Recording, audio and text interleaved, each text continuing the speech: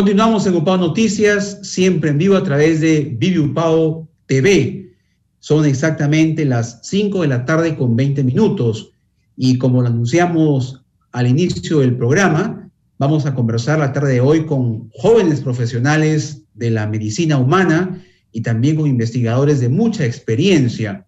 Vamos ahora a conocer acerca de un importante proyecto que fue eh, elaborado, fue trabajado en equipo por médicos docentes de la Escuela de Medicina de UPAO y también por un estudiante. Justamente tendremos hoy la oportunidad de conversar con la estudiante que participa y de este importante proyecto que ha sido sustentado, presentado en la Feria Perú Conciencia que organizó el CONCITEC. Vamos a conversar entonces con Janirit Rabanal. Ella estudia medicina humana en la UPAO para que nos converse, para que nos informe sobre este importante proyecto de reanimación cardiopulmonar.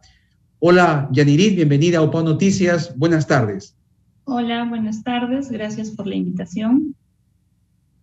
Bueno, sabemos que la universidad ha tenido una importante participación hace unos días en una feria eh, de mucha relevancia para popularizar justamente la ciencia.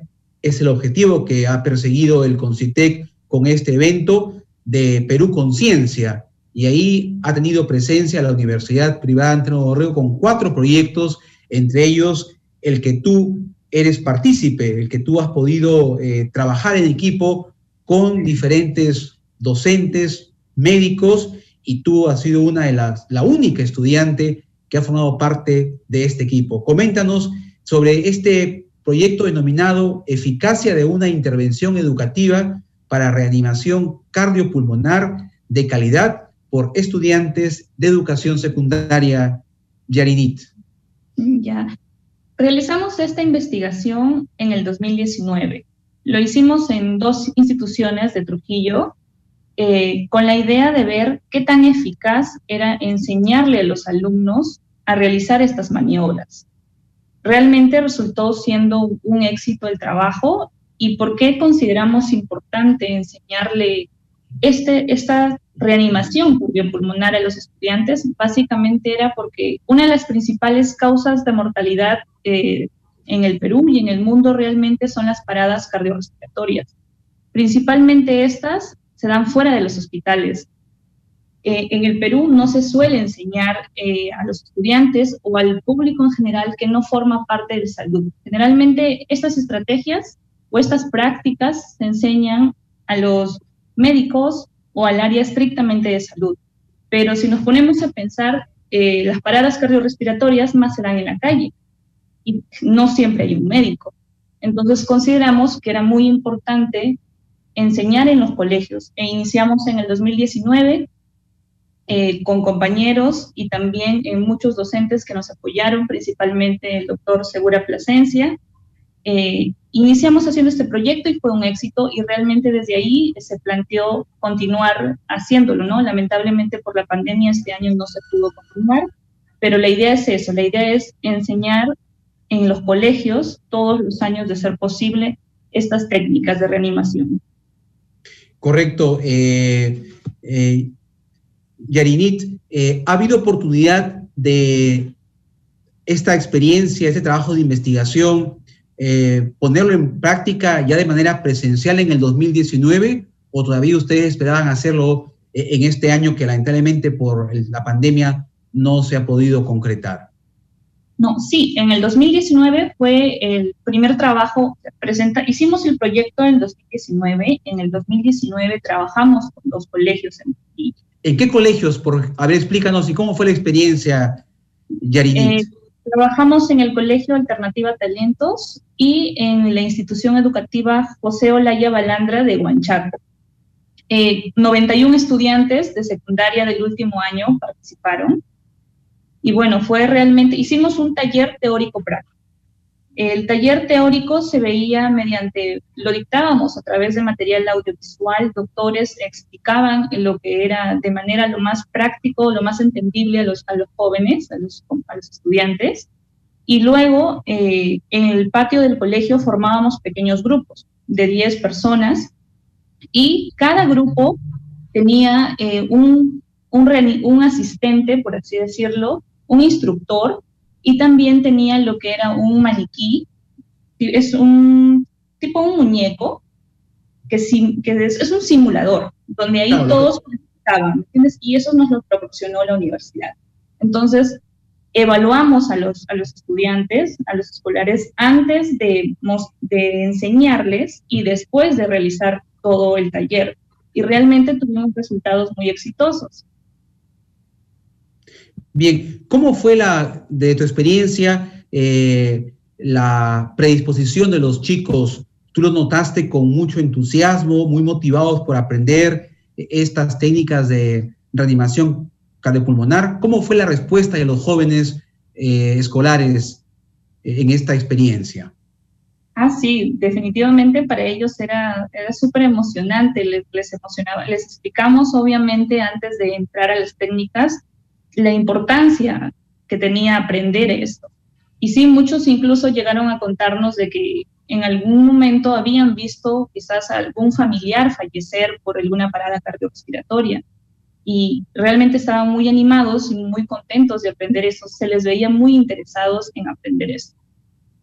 Correcto. Coméntanos, estas eh, paradas, como tú dices, o estos paros cardiorrespiratorios, eh, como muy bien lo has explicado, suceden en cualquier momento, no te avisan, estás en la calle o en otra, eh, o en otra situación, en otro contexto, pero por lo general eh, podemos eh, identificar ya algunos síntomas que nos pueden ir alertando a visitar de repente un médico para que nos pueda examinar?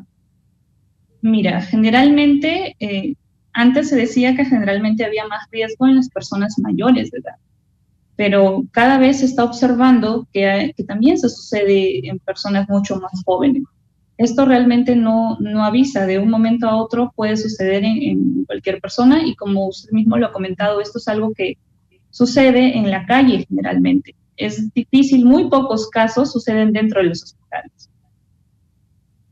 Pero ¿hay algún antecedente eh, de, por ejemplo, qué personas están más expuestas a, sufrir estos, estos paros eh, cardiorrespiratorios o, son algunas personas que ya con alguna patología son más vulnerables a ese tipo de, situaciones? Claro, principalmente, por ejemplo, eh, las personas que tienen obesidad, las personas que tienen fallas ya cardíacas, que son hipertensas, las personas que ya tienen antecedentes de problemas cardíacos, están más, más propensas, ¿no? Las personas también eh, que están con obesidad, eh, que tienen todos los hábitos que aumenta las, las, probabilidades de tener alteraciones cardíacas, obviamente son más probables de tener unas paradas. Correcto. Finalmente, ya para ir complementando y terminando esta eh, entrevista, Yarinit, es indudable que esta experiencia que ustedes han compartido con los escolares se puede también replicar en otros escenarios. Tal vez eh, tú como futura médico cirujano, eh, porque estás ya terminando la carrera o, ya terminaste. No, estoy en el último año, estoy haciendo el internado actualmente. Correcto, entonces eh, es una oportunidad para que de repente esta misma investigación se pueda replicar, repito, insisto, en otros escenarios, de repente en empresas, en instituciones, eh, no necesariamente escolares, pero claro, estamos ahora en una pandemia que nos tiene pues a todos en una situación bastante atípica, pero esto puede servir muchísimo eh, aplicarlo también en otro tipo de organizaciones. Claro, realmente esto es algo que todos lo deberíamos saber, que todos lo deberíamos conocer. Nosotros lo planteamos en hacer en colegios porque porque mientras lo más temprano se desarrolle estas destrezas, se ha comprobado, o sea, mientras más pequeños lleguen a aprender esto, se ha comprobado que a lo largo del tiempo, pues va a perdurar más. Entonces, y pensamos, si es mientras más temprano va a lograr una mayor quizás recepción eh, y que dura más, se nos ocurrió definitivamente los colegios. Y sobre todo por el efecto multiplicador que iba a haber. Eh, quizás un joven sabía en casa, eh, sabía, perdón, en el colegio lo que le explicamos, luego iba y compartía en casa, pero definitivamente esto es algo que, que todo el público lo debería saber.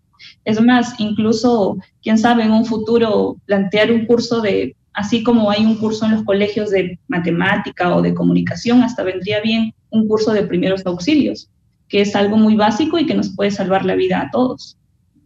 Así es, importante entonces esta recomendación que tú mencionas, eh, Yarinit, de poder eh, tomar en cuenta en, la edad escolar, eh, incluso también en las universidades, no solamente los futuros médicos como en tu caso, sino de repente alumnos de los primeros ciclos de estudios en estudios generales podrían llevar estas, estos talleres de primeros auxilios de reanimación cardiopulmonar que, como tú dices, nos permiten salvar muchas vidas.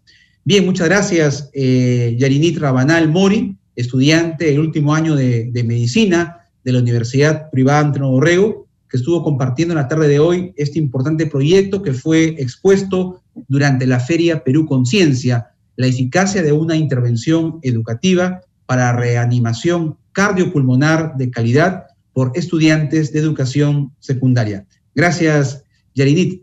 Muy amable. Buenas tardes.